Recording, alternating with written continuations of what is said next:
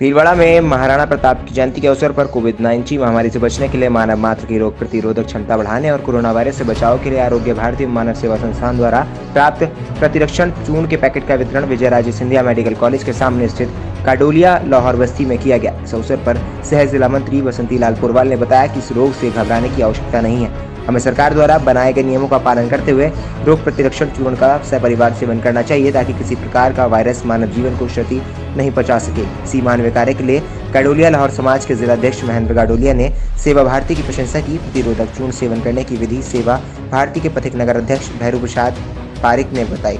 जिला मंत्री ललित कुमार जैन ने बताया कि पूर्ण चूर्ण वितरण के समय विभाग मंत्री अशोक कुमार सैन, नगर प्रचारक प्रमुख दीपक टेलर, पवन बाबरी विनोद वेरवास उपस्थित रहे। गाडोलिया लाहौर बस्ती के 50 परिवारों में एक किट वितरण किया गया तथा आगामी दिनों में शहर की विभिन्न सेवा बस्तियों में लगभग 1500 किट वितरण किए जाएँगे।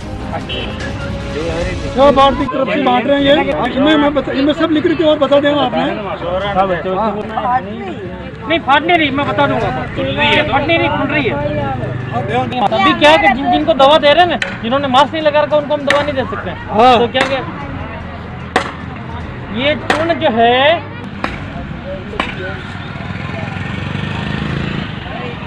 खड़े हो क्या? मानव सेवा अच्छा, संस्थान भारती हाँ, के सहयोग से सेवा भारती ने आज राजमाता विजया राजे सिंधिया मेडिकल कॉलेज के सामने गाडोलिया बस्ती में इस, रोग प्रतिरोधक चूर्ण का वितरण किया और इसमें गिलोय चूर्ण अश्वगंधा चूर्ण आदि है सबका मिश्रण है और इसको इन लोगों को लेने की विधि समझाई गई। और इसको निरंतर बांटने का प्रयास करेंगे। और सर आप लॉकडाउन की दीदी आप जब लॉकडाउन था तब आपने क्या क्या सामग्री बांटी थी? काढ़ा काढ़ा वितरण किया मास्क वितरण किए सूखे भोजन के पैकेट बांटे और सूखी राशन सामग्री बांटी और आज ये चूरण की सेवा कर रहे हैं। क्या नाम है? भैरू प्रसाद पारिक सेवा भारती विजय सिंह पति नगर अध्यक्ष।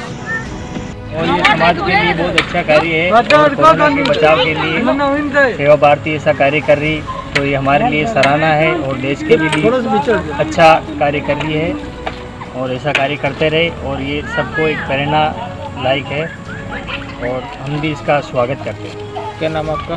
महेंद्र गाड़िया लोहार भीलवाड़ा जिला अध्यक्ष गाड़िया लोहार समाज।